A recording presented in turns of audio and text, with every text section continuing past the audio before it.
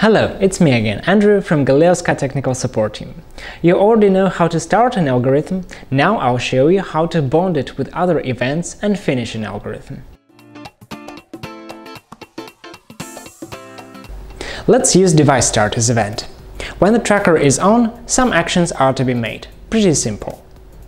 In order to do that, we open the actions list and choose, for example, the first one – diagnostic message. I will eventually tell you about all other actions in this list. In the block settings, we can write the message text, which will be further displayed in the diagnostic field.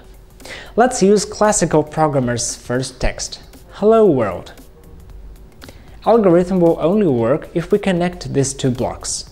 Just use your cursor to choose the circle on the block and drag the arrow to the next block.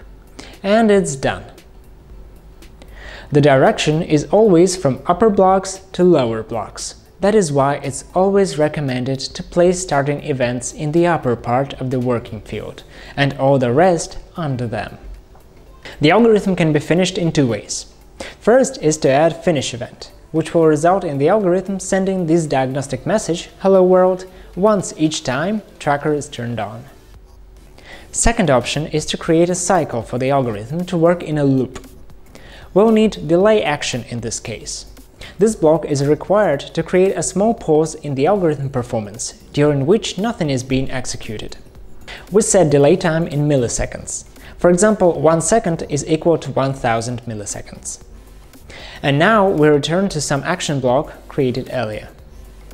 In our case, algorithm will show hello world message once per second.